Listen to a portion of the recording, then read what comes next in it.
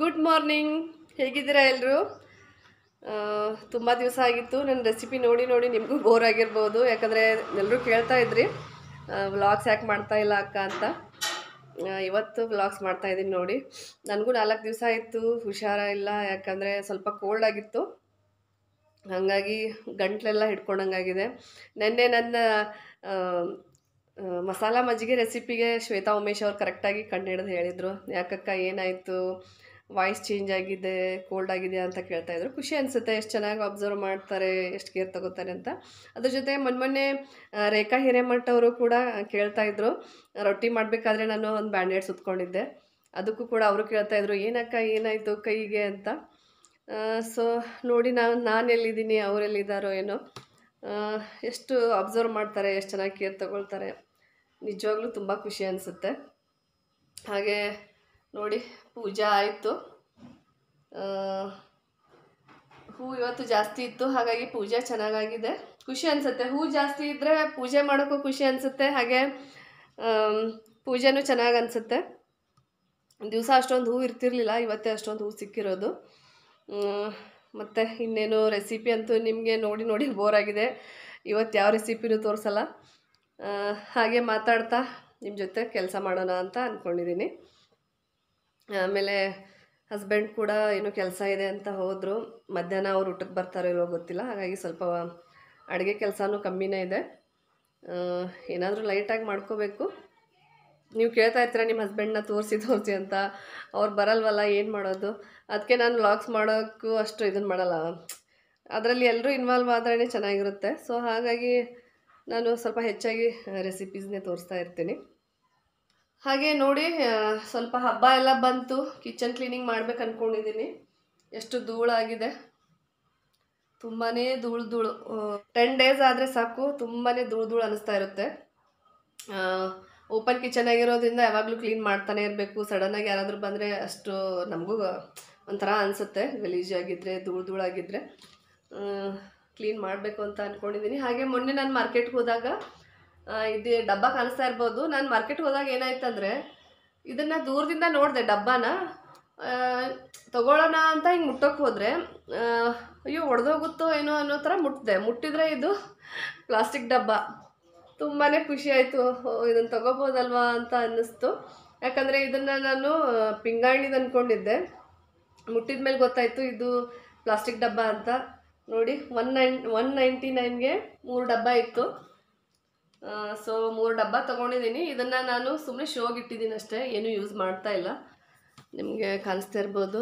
ನೋಡಿ, ಈ ಥರ ಇಲ್ಲಿ ಶೋಗೆ ಇಟ್ಬಿಟ್ಟಿದ್ದೀನಿ. ಚೆನ್ನಾಗಿ ಕಾಣಿಸ್ತಾ ಇದೆ. ಒಂಥರ ಲುಕ್ ಚೆನ್ನಾಗಿರುತ್ತೆ ಅಂತ ಇಲ್ಲೇ ನಾನು ಇಟ್ಬಿಟ್ಟೆ ಇದನ್ನು. ನಾನು ಎದಕ್ಕೂ ಯೂಸ್ ಮಾಡ್ತಾ ಇಲ್ಲ. ಹಾಗೆ ಇಲ್ಲೆಲ್ಲ ಧೂಳಾಗಿದೆ. ಕ್ಲೀನ್ ಮಾಡಬೇಕು ಅಂತ ಅಂದ್ಕೊಂಡಿದ್ದೀನಿ ತುಂಬಾ ಧೂಳಾಗಿದೆ. ಎಲ್ಲ ಲೇಡೀಸ್ಗೂ ಗೊತ್ತಿರುತ್ತಿದ್ದು ಎಷ್ಟೇ ಕ್ಲೀನ್ ಮಾಡಿದರೂ ಹಾಗೆ ಮಾಡ್ತಾನೆ ಇರಬೇಕು. ಅಡುಗೆ ಮನೆ ಕೆಲಸ ಅಂತೂ ಮುಗಿಯೋದೇ ಇಲ್ಲ.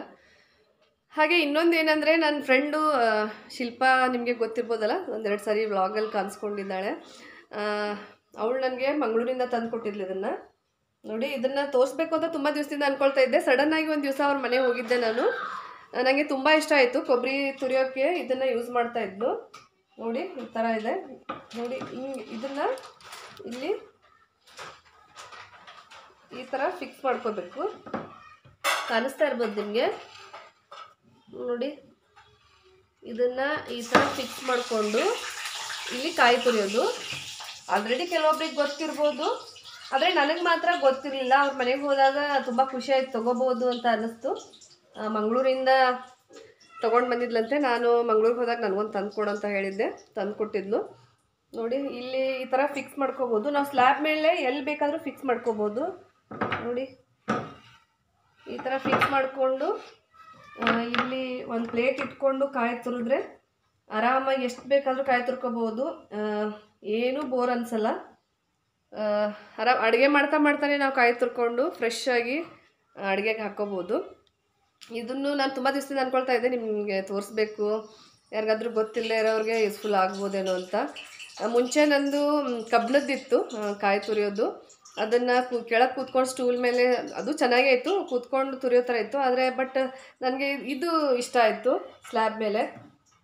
ಆರಾಮಾಗಿ ನಾವು ಅಡುಗೆ ಮಾಡ್ತಾ ಮಾಡ್ತಾನೆ, ಅಡುಗೆ ಮಾಡ್ತಾ ಮಾಡ್ತಾನೆ ಕಾಯಿ ತುರಿಬೋದಲ್ವಾ ಅಂತ ತಗೊಂಡೆ.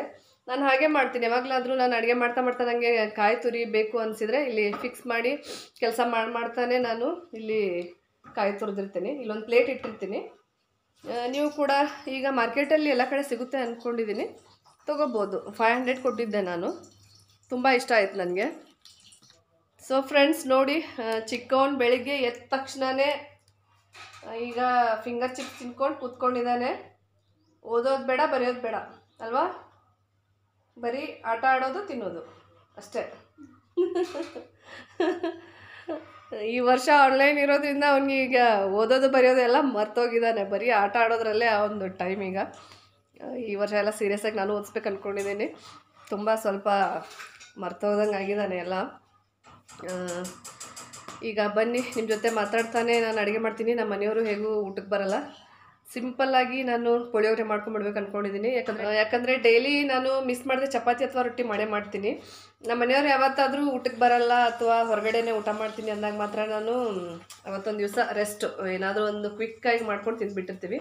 ಇವತ್ತು ಲೈಟಾಗಿ ಸ್ವಲ್ಪ ರೈಸ್ ಮಾಡಿಕೊಂಡು ಪುಳಿಯೋಗರೆ ಮಾಡಬೇಕು ಅಂದ್ಕೊಂಡಿದ್ದೀನಿ ಬನ್ನಿ, ಇವತ್ತು ಈಗ ನಿಮ್ಮ ಜೊತೆ ಮಾತಾಡ್ತಾ ಮಾತಾಡ್ತಾನೆ ಪುಳಿಯೋಗರೆ ಮಾಡಿಕೊಂಡು ಮುಂದಿನ ಕೆಲಸ ಮಾಡ್ತೀನಿ. ಸೊ ಫ್ರೆಂಡ್ಸ್ ಈಗ ತಿಂಡಿ ಎಲ್ಲ ಆದಮೇಲೆ ಒಂದು ಸಾರಿ ಹಾಗೆ ಕಿಚನನ್ನು ನಾನು ಕ್ಲೀನ್ ಮಾಡ್ಕೊಳ್ತಾ ಇದ್ದೀನಿ. ನೈಟೇ ನಾನು ಕಿಚನ್ ಕ್ಲೀನ್ ಮಾಡಿ ಇಟ್ಟಿರ್ತೀನಿ. ಆದರೂ ತಿಂಡಿ ಎಲ್ಲ ಆದಮೇಲೆ ನಾನು ಒಗ್ಗರಣೆ ಎಲ್ಲ ಕೊಟ್ಟಿರ್ತೀನಲ್ವ? ಎಲ್ಲ ಇಲ್ಲೇ ಎಲ್ಲ ಬಿದ್ದಂಗಾಗಿರುತ್ತೆ ಸ್ಟವ್ ಮೇಲೆ. ಸೊ ತಿಂಡಿ ಎಲ್ಲ ಆದಮೇಲೆ ಒಂದು ಸಾರಿ ಕಿಚನ್ ಎಲ್ಲ ಕ್ಲೀನ್ ಮಾಡಿಕೊಂಡು ನೆಕ್ಸ್ಟ್ ನಾನು ಅಡುಗೆ ಶುರು ಮಾಡ್ಕೊಂಡಿರ್ತೀನಿ. ಸ್ವಲ್ಪ ಇವತ್ತು ಪೂಜೆ ಕೆಲಸ ಎಲ್ಲ ಜಾಸ್ತಿ ಇತ್ತು. ಶುಕ್ರವಾರ ಅಲ್ವಾ? ಶುಕ್ರವಾರ ದೇವ್ರ ಮನೆಯೆಲ್ಲ ಕ್ಲೀನ್ ಮಾಡಿ ಪೂಜೆ ಮಾಡ್ತೀನಲ್ವ? ಸ್ವಲ್ಪ ಕೆಲಸ ಜಾಸ್ತಿ ಇರುತ್ತೆ. ಪಾತ್ರೆನೂ ಅಷ್ಟೇ, ನಾನು ನೈಟ್ ಎಲ್ಲ ತೊಳೆದಿಟ್ಟು ಮಲ್ಕೊಂಡಿದ್ದೆ ಬಟ್ ಈಗ ತಿಂಡಿ ಆದಮೇಲೆ ಮತ್ತೆ ಎಲ್ಲ ಒಂದ್ಸಾರಿ ತೊಳೆದ್ಬಿಡ್ತೀನಿ, ಅಷ್ಟೊಂದಿಲ್ಲ. ಈಗ ನಾನು ತಿಂಡಿ ಎಲ್ಲ ಆದಮೇಲೆ ಮತ್ತೆ ನಾನು ಬಿಟ್ಬಿಟ್ರೆ ಈಗ ಸಂಜೆ ಅನ್ನೋಷ್ಟೊತ್ತಿಗೆ ಒಂದು ರಾಶಿ ಆಗುತ್ತೆ, ತೊಳೆಯೋದೇ ಒಂದು ದೊಡ್ಡ ಕೆಲಸ ಅನ್ಸೋಕೆ ಶುರು ಆಗುತ್ತೆ. ಈಗ ತಿಂಡಿ ಆದಮೇಲೆ ಮಧ್ಯಾಹ್ನ ಊಟ ಆದಮೇಲೆ ಸ್ವಲ್ಪ ಸ್ವಲ್ಪನೇ ತೊಳಿತಾ ಇದ್ದರೆ ಅಷ್ಟೊಂದು ಅನ್ಸೋದಿಲ್ಲ. ಸೊ ಹಾಗಾಗಿ ಅವಾಗಿಂದ ಅವಾಗಲೇ ಕ್ಲಿಯರ್ ಮಾಡ್ಕೊಂಡ್ಬಿಡ್ತೀನಿ. ಯಾಕಂದರೆ ಒಂದೇ ಸಾರಿ ತೊಳೆಯೋಕೆ ಹೋದರೆ ನನಗೆ ತುಂಬ ಜಾಸ್ತಿ ಕೆಲಸ ಅನ್ಸೋಕೆ ಶುರು ಆಗಿಬಿಡುತ್ತೆ. ಟಯರ್ಡ್ ಅನ್ಸೋಕೆ ಶುರು ಆಗುತ್ತೆ. ಎಲ್ರಿಗೂ ಅಷ್ಟೇ ಅಲ್ವಾ ಕಾಮನ್ ಆಗಿ. ಸೊ ಸ್ವಲ್ಪ ಸ್ವಲ್ಪನೇ ಪಾತ್ರೆ ತೊಳೆದಿರ್ತೀನಿ. ಫಸ್ಟ್ ಈಗ ನಾನು ಫಸ್ಟ್ ಈಗ ನಾನು ರೈಸಿಗೆ ಇಟ್ಬಿಡ್ತೀನಿ. ಮಧ್ಯಾಹ್ನದ ಊಟದ ಕೆಲಸ ಕಮ್ಮಿ ಇದೆ ಇವತ್ತು.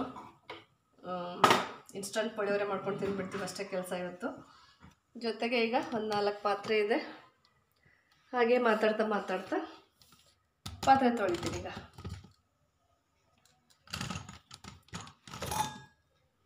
ಹಾಗೆ ಪಾತ್ರೆ ತೊಳೆಯೋಕ್ಕೆ ನಾನು ಈ ಬುಟ್ಟಿ ತೊಗೊಂಡು ಎಂಟು ವರ್ಷ ಆಯಿತು. ತುಂಬ ಚೆನ್ನಾಗಿ ಬಂದಿದೆ, ತುಂಬ ಯೂಸ್ ಆಗಿದೆ. ಪ್ಲಾಸ್ಟಿಕ್ಗಿಂತ ಸ್ಟೀಲ್ದೇ ತುಂಬ ಗಟ್ಟಿಮುಟ್ಟಾಗಿ ಬರುತ್ತೆ ಅಂತ ನನ್ನ ಒಪಿನಿಯನು. ತುಂಬ ಚೆನ್ನಾಗಿ ಬಂದಿದೆ ಗಟ್ಟಿಮುಟ್ಟಾಗಿದೆ ಜೆಂಟ್ಸ್ಗೆ ಹುಷಾರಿಲ್ಲ ಅಂದರೆ ಲೀವ್ ಹಾಕ್ಕೊಂಡು ಮಲ್ಕೋಬೋದು, ಬಟ್ ಲೇಡೀಸ್ಗೆ ಹುಷಾರಿಲ್ಲ ಅಂದರೆ ಒಂಥರ ಮನೇಲಿ ಕಳೆನೇ ಇರಲ್ಲ. ಇದೆಲ್ರಿಗೂ ಎಕ್ಸ್ಪೀರಿಯನ್ಸ್ ಆಗಿರುತ್ತೆ ಅಂತ ಅಂದ್ಕೊಳ್ತೀನಿ ತುಂಬಾ ನನಗಂತೂ ಮೊನ್ನೆ ಒಂದು ಮೂರ್ನಾಲ್ಕು ದಿವಸ ಅಂತೂ ತುಂಬಾ ಹುಷಾರಿರಲಿಲ್ಲ. ತುಂಬಾ ಕೋಲ್ಡ್ ಆಗಿತ್ತು. ಆದರೂ ಕೂಡ ಏನು ಮಾಡೋದು? ಸ್ವಲ್ಪ ಸಣ್ಣ ಪುಟ್ಟ ಕೆಲಸ ಮಾಡಲೇಬೇಕಲ್ವ? ಎಲ್ಲ ಬಿಟ್ಟು, ಪೂರ್ತಿ ಬಿಟ್ಟು ಮಲ್ಕೊಳ್ಳೋಕ್ಕೂ ಆಗಲ್ಲ.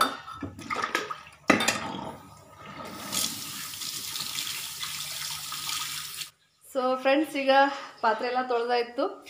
ಮಾರ್ನಿಂಗ್ ಕೆಲಸ ಹೆಚ್ಚು ಕಮ್ಮಿ ಮುಗ್ದಾಯ್ತು. ರೈಸು ಮಾಡಿಟ್ಟಿದ್ದೀನಿ. ಇನ್ನೇನಿಲ್ಲ. ಪುಳಿಯೋಗರೆ ಮಾಡಿದರೆ ಮುಗ್ದೋಯ್ತು. ಇವತ್ತು ಕೆಲಸನೂ ಬೇಗ ಬೇಗ ಮುಗ್ದೋಯ್ತು. ಇವತ್ತು ಸ್ಮಾಲಾಗಿ ಒಂದು ವ್ಲಾಗ್ ಮಾಡಿದ್ದೆ. ನಿಮಗೆಲ್ಲ ಇಷ್ಟ ಆಗಿದೆ ಅಂತ ಅಂದ್ಕೊಳ್ತೀನಿ ಹಾಗೆ ನಿಮಗೆ ವ್ಲಾಗ್ಸ್ ಇಷ್ಟನಾ, ಹಾಗೆ ರೆಸಿಪೀಸ್ ಇಷ್ಟನಾ ಅಂತ ಕಮೆಂಟ್ಸ್ ಬಾಕ್ಸಲ್ಲಿ ತಿಳಿಸಿ. ಯಾಕಂದರೆ ನಾನು ನೆಕ್ಸ್ಟ್ ಯಾವ ಥರ ವೀಡಿಯೋಸ್ ಮಾಡಬೇಕು ಅಂತ ತುಂಬ ಹೆಲ್ಪ್ಫುಲ್ ಆಗುತ್ತೆ. ಇವತ್ತಿನ ವ್ಲಾಗ್ನ ನಾನು ಇಲ್ಲಿಗೆ ಎಂಡ್ ಮಾಡ್ತಾ ಇದ್ದೀನಿ. ಮತ್ತೆ ಸಿಗೋಣ ಮುಂದಿನ ವ್ಲಾಗಲ್ಲಿ ಅಲ್ಲಿವರೆಗೂ ಎಲ್ರಿಗೂ ನಮಸ್ಕಾರ. Thank you